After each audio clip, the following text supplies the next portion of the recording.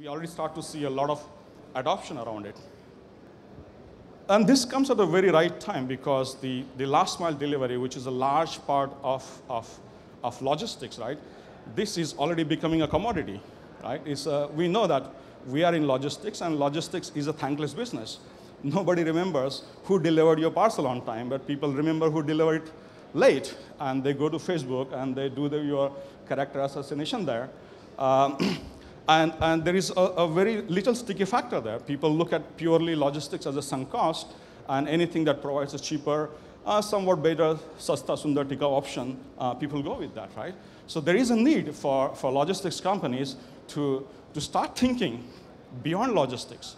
Uh, if you look at the, the, the, revenue potential, if you're just doing parcel delivery, uh, cash on delivery, and flexible like on demand uh, in locker boxes, your, your revenue potential is, is very small. It's, it's just the beginning of it. There's a whole big world of logistics for e-commerce that exists, and there are companies which successfully demonstrated that it is possible. You can provide uh, cross-border services, uh, in-country consolidations, uh, destruction of unwanted product, relisting of unwanted product, uh, exports, and channel management. So helping smaller brands or bigger brands to manage their entire e-commerce channel.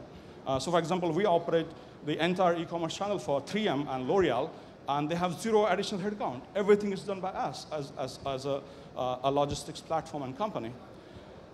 This view of logistics company that they need to provide value-added services to make the seller's life easy uh, will help to, to bring in more sellers uh, online in, in region and in India, basically enabling as a single platform beyond delivery. So delivery is a one small part of it.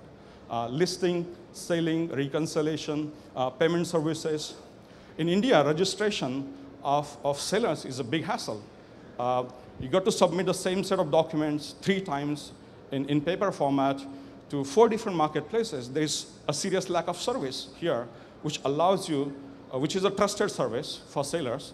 You work with that service, and that service basically is integrated with other logistics and e-commerce companies, which allows you to click on those platforms and list on those platforms on a single click. It's possible. We do that in Singapore. We do that in Malaysia, in Indonesia.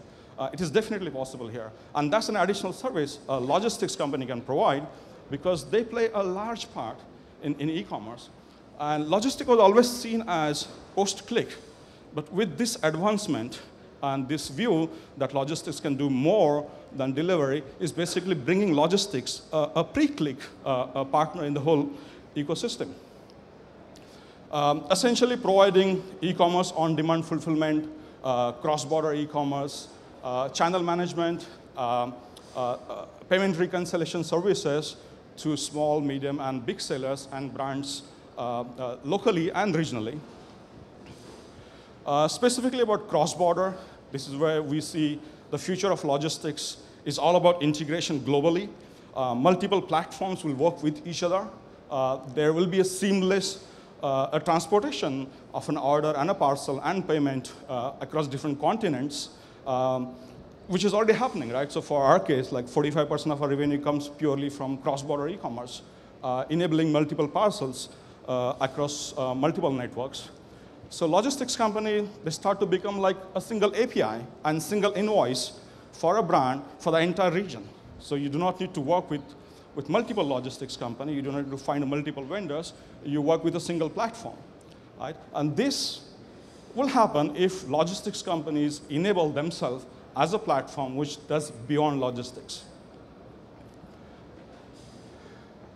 Um, bit about Anchanto. Um, we, are a, we are a technology company uh, based in Singapore and India.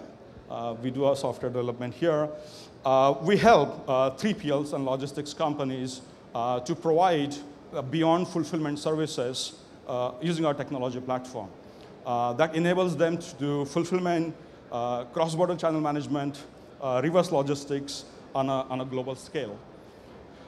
this, in turn, enables brands and sellers not only to fulfill and list and sell their product in local market, uh, but regionally and globally as a part of the single platform. So it works as a, as a single uh, API uh, for the entire region. We work with some of the great logistics companies um, across the region, uh, in Southeast Asia, uh, in Europe, uh, in US, uh, providing uh, e-commerce fulfillment, cross-border channel management, and, and marketplace listing services. Um, the whole network of Anchanto software uh, gives an access of close to more than a 1 a billion internet users for brands and sellers so that they can reach out, they can list their product, and seamlessly uh, fulfill their orders uh, across the region. Uh, in India, uh, we work with DTDC. So DTDC is Anchanto partner. Um, they're, they're deploying and building their their e-commerce logistics services uh, on top of the Anchanto platform uh, here uh, for, for India market and some of the SAARC countries. And that's about Anchanto. Uh, I run a bit fast so that we can leave some more time for, for question and answer. I think we still have like eight minutes. I don't charge for it, so ask. It's free. Hi. Hi, my name is Bharat. Uh, I so I understand what the business is. I just want to understand. I run a very small del- delivery company, which is not B2C, it's C2C. So I want to know if I can use Anchanto as a platform, and because I operate just in Bombay right now, we've not even expanded out of Bombay. So how can I use you guys, and how do you see some smaller, like smaller companies like us, in the same logistics sector, probably using you guys? Because you work with all big companies, like you have DTDC and everybody else. So yeah. Okay, so um, we can sign a contract there. We have booth, so you can work with us. um, uh, we don't differentiate small and big. Anchanto started with one and a half people, right? So we ourselves look at it as a very small company. Um, C2C delivery, on-demand deliveries, we know in the market what the situation is. Um, if you're a delivery company, my advice to you, or suggestion, I'm not worthy of giving any advice to anyone, my suggestion will be to, to, to look beyond point A to B. So A being a pickup point and B being a delivery point. Uh, will you be able to build a scalable global business with that, which will give a great return to investors? I don't think so. So what value-added services you can build, uh, what scalable uh, uh things you can do on top of it, uh, whatever the resources you have, that is what you got to think about. Um, enabling on-demand delivery is great. Uh, we have seen that business model has its own issues. the return is a challenge. Uh, manpower is a challenge. Uh, building a technology, investing heavily into technology is a challenge. Uh, we've been developing this for five years. Uh, it's still not fully developed, it's still in process.